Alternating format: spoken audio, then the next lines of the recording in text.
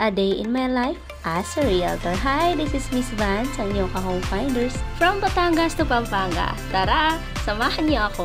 Napatravel nga ako dito sa Pampanga para samahan yung aking ka-home finders na OFW na nag-avail ng dalawang units dito sa Pampanga at isa naman sa Bulacan. For 4 years, excited nga ako ma-met yung aking client kasi that time, lagi lang kami online nagkakausap.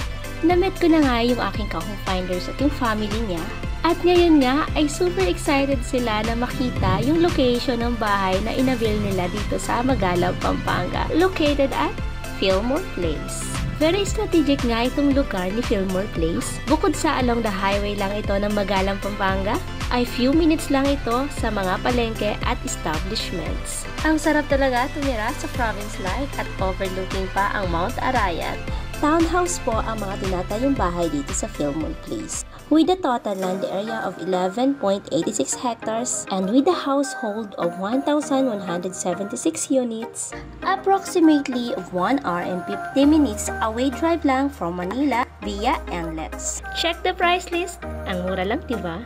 After Fillmore Place, Magalang, Pampanga, let's go to Bulacan naman tayo. Good news sa ating mga investors from north to south alam mo ba na may ginagawang project ang government? Ito yung tinatawag na North-South Commuters Railway or NSCR.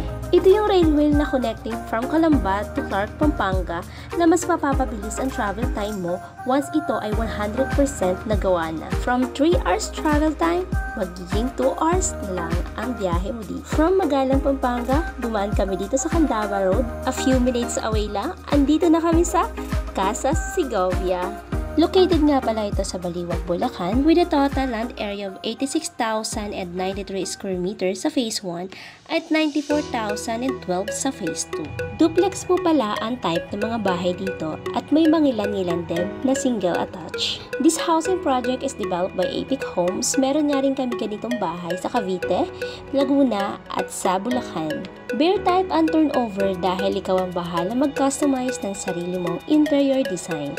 Room partitions, klase ng tiles at pintura na katulad nito.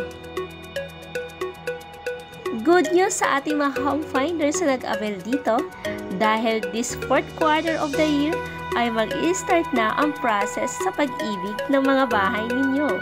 Konting panahon na lang ang pag-aantay at mapapasaya na rin ang pangarap ninyong bahay. One of the best feeling ng isang realtor ay makita mo yung clients mo at yung ngiti ng mga pamilya nila.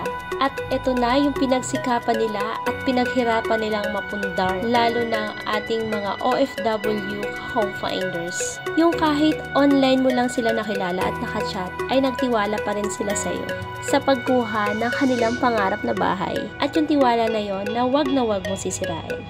Welcome to Casa Segovia! Follow for more!